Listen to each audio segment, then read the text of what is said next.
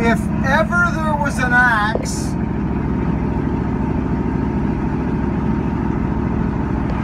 that had true, true balance. You know, friends, every every axe for me, every single one is a is a journey on its own. And uh, Steve Parsons,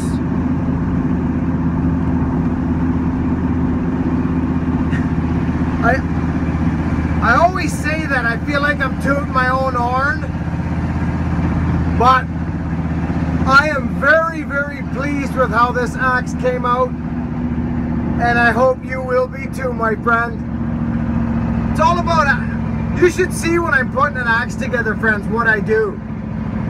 I actually lay out the, the, all the heads, the handles, I slip them on, I do whatever it takes, because to me, it's got to be head and handles got to mate together. It's just got to be right. If you only had one head and one handle, you that that's what would be happening. But I don't. You see, I've got all kinds of options. So this particular axe, Stevo, I think you're going to be very pleased. I know I'm happy with the with the outcome. So, yeah. Just touch base with you guys. Have a great day. Talk to you very soon. Be kind.